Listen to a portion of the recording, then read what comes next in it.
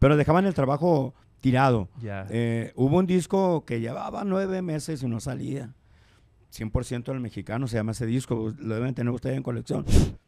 Jorge, Pancho y Casimiro no iban, no iban. Ya lo dije en alguna ocasión, no iban, pues como digo, ¿Y usted trabajaba? ¿se- ¿Se, podría decir que trabajaba solo? trabajaba solo junto con el ingeniero. Sí, ya hacía yo, ingeniero, vamos a hacer este otro doblaje, vamos a hacer... Aparte era análogo, todo esto era análogo.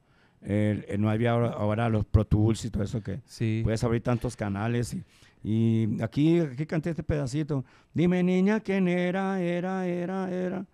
Este pedacito lleva acá también. Y este al final ya te agarraba mucho trabajo. Al fin y al cabo lo debías de hacer. Eh, lo, lo, tenía que salir eh, completa la canción.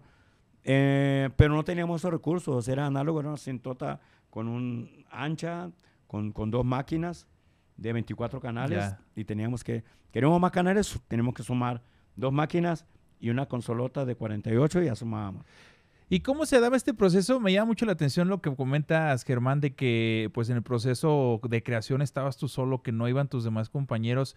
¿Crees que de ahí empieza un poco este desgaste, un poco de fricción entre, entre ustedes? ¿Lo viste, ¿Lo viste así? ¿O realmente en ese momento no te importaba? Tú dices, ah, No, yo no. soy feliz A- haciendo A, mí me música"? importaba que, que saliera el producto, me importaba porque me Pero importaba... no te agüitabas, sí. digo, aquí en Guadalajara, o no sé si en el norte se diga, pero no te agüitabas decir, ah, chingados, son, son 12 de la noche y yo aquí pegándole de. Y todavía". demás andan en otro lado. sí. Siempre digo yo que digan, no, no estaban, no iban.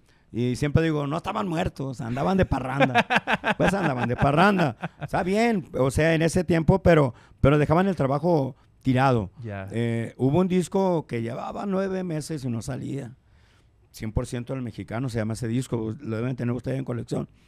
Ese fue de los más, más largos, no el más laborioso, fue lo más largo porque ya, ya había tanta desatención hasta que me llamaron a mí y fui, fui para allá. Van a decir, oye, este se apropiaba de todo.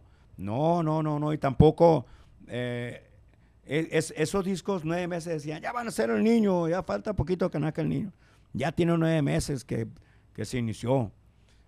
Eh, bueno, coincidió, pero sí salió después de los nueve meses. Eh, ese ¿Qué, qué canciones venían en ese? Ahí viene 100% del mexicano.